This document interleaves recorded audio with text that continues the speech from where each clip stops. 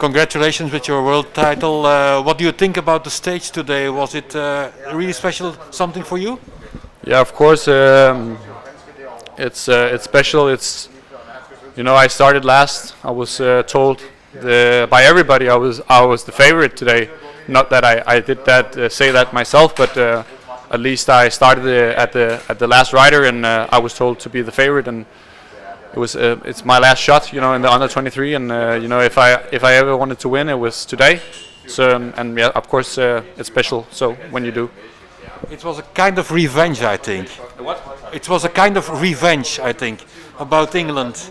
You forgotten it, or yeah. it was still on your head, I think. Yeah, I mean, for me, it's it's not that I look at the things like this this with their uh, you know revenge eyes, because for me, that would be disturbing for the uh, for the um, you know the um, the competition and the, the effort I had to do but uh, at, at the same time, it's it's for me a full circle because uh, uh, I were in the gutter and I were in the puddle uh, two years ago at the last under 23 World Championships, and today I'm I'm on the top of the podium. Uh, so from from last to first, and and representing that, you know, that um, that return and that you know revenge. I wouldn't call it revenge because that's a bit of a negative word in, in my my uh, my eyes, but you know that um, you know rise from from uh, the last position is is what I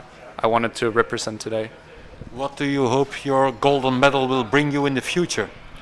I mean, for me, it's it's of course just um, I, I, just live in this moment, and I'm very happy for this medal. And um, yeah, I wouldn't I wouldn't say I, I hope it would bring anything in the future uh, because I know I'm a good time trialist, and, and today I showed it yet again. It's it's my third third uh, championship uh, title in the under 23 uh, in the TT. So it's not that uh, this is the first first time I I uh, I do something good in the under 23. So that is just yeah, you know what I hope what that people will see that I'm you know consistent in the time trial and can return from. You know, last year was a bad year due to COVID and, and stuff like that.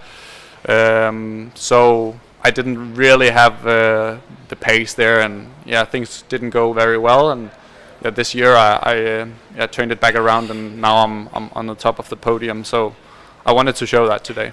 What about the Danish people for the next races? Uh, maybe on Sunday. Uh, it can be really good, I hope, for you. Uh, I'm not racing Sunday because I wanted to focus on the TT. of course, but yeah. I mean the Danish people uh, will be happy with a medal, I think it's possible. Yeah, yeah. No, of course, in the elite race. Yeah, yeah, of course. Uh, the the squad is uh, very, very strong, and yeah, it's it's kind of historical because the the te the the team to this year is is unbelievable, and and I I, I have no clue when uh, we had that team before. So I think uh, the Danish generation is is on a rise and on a current peak. So yeah, it will be interesting to see.